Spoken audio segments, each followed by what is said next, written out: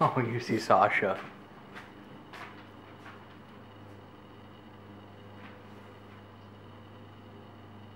I think we're eating the fist too. Well, no, it's on the inside of his hand, but he can't figure out how to get it out the inside of his hand. Did you get it?